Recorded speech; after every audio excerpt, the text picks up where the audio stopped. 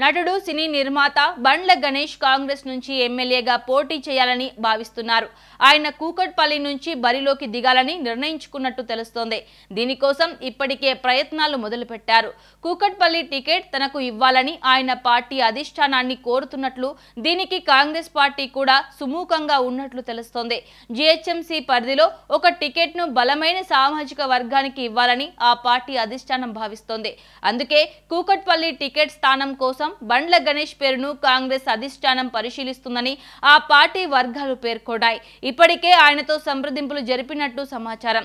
తెలంగాణలో జరిగిన గత ఎన్నికల్లో బండ్ల గణేష్ కాంగ్రెస్ కోసం ప్రచారం చేశారు. ఆ సమయంలో ఆయన ఇచ్చిన అనేక ఇంటర్వ్యూలో ఆ పార్టీ తరపున మాట్లాడారు. ఇదిలా ఉండగా తెలంగాణలో ఎన్నికల షెడ్యూల్ త్వరలోనే విడుదలయ్యే అవకాశాలు కనిపిస్తున్న నేపథ్యంలో కాంగ్రెస్ పార్టీ కూడా అభ్యర్థుల ఖరారును ముమ్మరం చేసింది. అందులో భాగంగానే నేడు ఢిల్లీలో తెలంగాణ కాంగ్రెస్ స్క్రీనింగ్ కమిటీ సమావేశం నిర్వహించనున్నారు. మరో రెండు రోజుల్లో అభ్యర్థుల ప్రకటన వెలువడే అవకాశం కనిపిస్తుంది. ఈ వీడియో కనుక మీకు నచ్చినట్లయితే లైక్ చేయండి షేర్ చేయండి మా ఛానల్ని సబ్స్క్రైబ్ చేయండి.